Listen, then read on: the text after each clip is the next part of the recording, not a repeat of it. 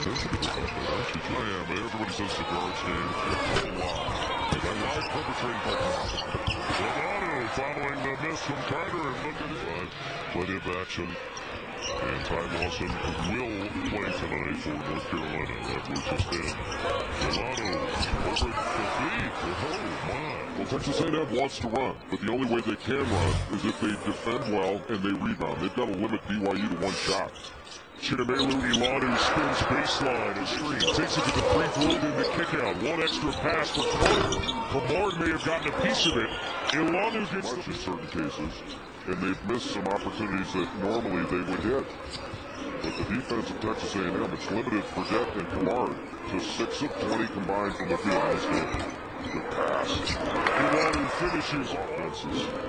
Got to get scores to get back into it. In order to make a difference, you have to stop. Eight baskets, and that's Ryan saw him out of the corner of his eye.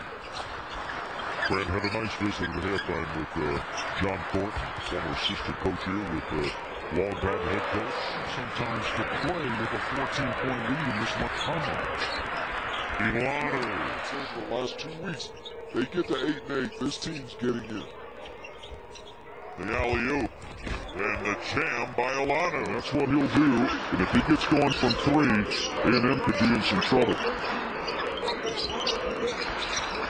year, Steiger, it's a 65th three, and underneath, great move by Elonu when it looks better all the time because they could win the Valley today. And 38 at Houston. And A&M back to answer. His first attempt. Right down to Elonu, spins baseline and gets loose for the dunk. Lead for the Huskers, swells to 15. Davis the jump hook inside. Elonu finds the loose ball. This team has no chance of being a consistent team. Holmes tries to go underneath, and it's a dunk fest.